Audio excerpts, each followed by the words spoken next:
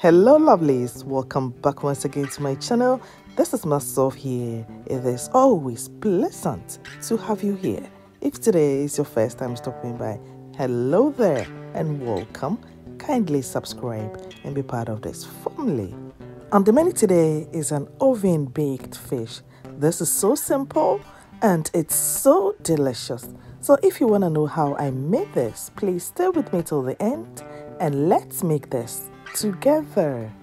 Part of Masof's Kitchen. You proud to be part of Masof's Kitchen.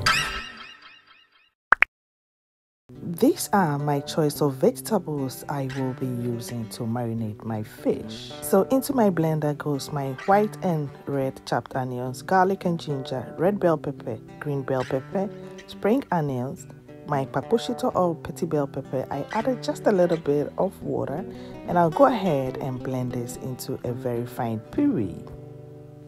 Here I have my unsalted butter I will microwave it for just a minute and this is what we have here. So into my bowl, I will bring in my blended vegetables.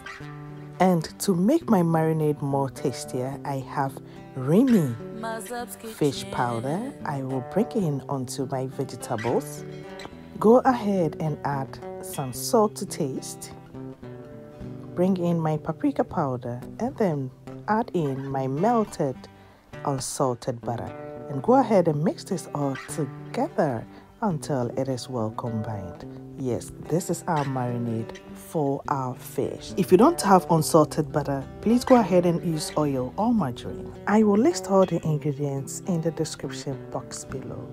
So we are done mixing. I'll set it aside and bring in my fish. So I have red snapper and mackerel. Yes.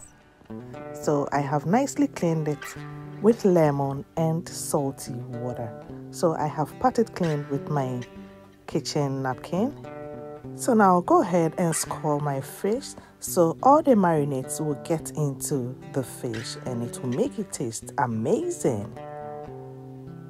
Do it the same and you have a delicious fish when you are done. It's a promise. Yes. So I'll continue the same process until I'm done with all. If today is the first time coming across my channel, hello there. My name is Masof. Kindly follow me on Facebook, Masof's Kitchen, or subscribe to my YouTube channel, Masof's Kitchen, for more delicious recipes. So here I will bring my marinade onto my fish and make sure you open where to put the marinade in. It tastes really, really good. Medofo pa, sani uhu sani ye. Uhu sani meye me vegetables sana. Afe me de fefa me fiction ne hunyina no. Medofo sa pepepe. Fa fefa hunyina bibi ne yem ne kwase baby a marinade yi hyehyɛ. Na me se sɛ wowie ne dɛ no ɛnyɛ e e kama paa. Kindly give this recipe a try and i know you will love it so now I'm done with everything except with the gills. So I'll bring in some of the marinades into the gills. And when I'm done, I'll cover it with my cling film and then bring it into my fridge to marinate for about two hours or you can leave it overnight if you have more time on your side. So here I have my baking tray and I have lined in with aluminium foil so the liquid from the fish can go on it. And then I will brush the wire rack with some oil so my fish doesn't stick on it.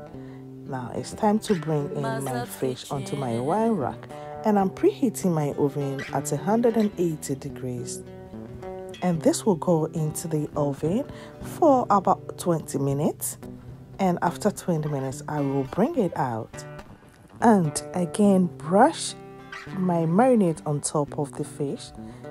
Yes we need more marinade. I had a lot over so we have to brush it on top of it and it will make the color look so nice. And also taste amazing. You will love the end results guys.